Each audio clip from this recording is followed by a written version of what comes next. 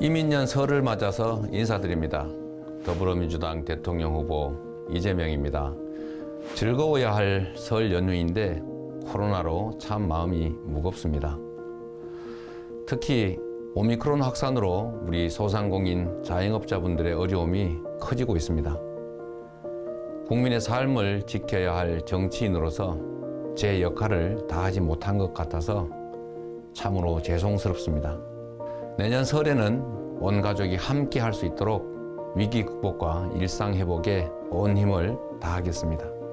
존경하는 국민 여러분, 올해는 어떤 소망을 가지고 계신가요?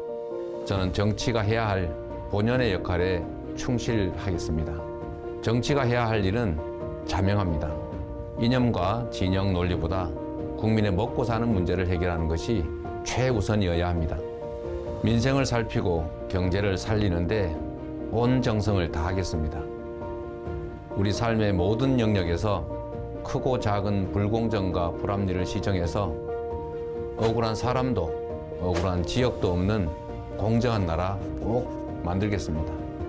모두에게 공평한 기회가 주어지는 나라, 실패해도 다시 도전할 수 있는 나라, 오늘보다 더 나은 내일이 기다려지는 나라, 우리 함께 만들어가면 좋겠습니다.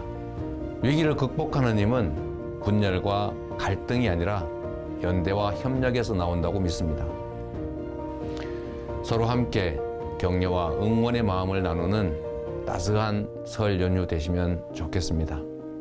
부득이한 사정으로 고향을 찾지 못하는 분들께는 위로의 마음을 전합니다. 모두 새해 복 많이 받으시고 건강하십시오. 고맙습니다.